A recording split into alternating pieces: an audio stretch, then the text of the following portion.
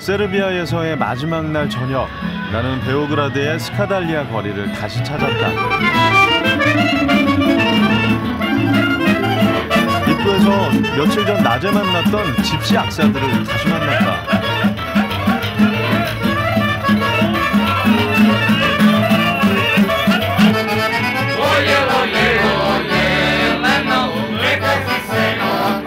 밤에 본 스카달리아의 모습은 낮에 본 모습과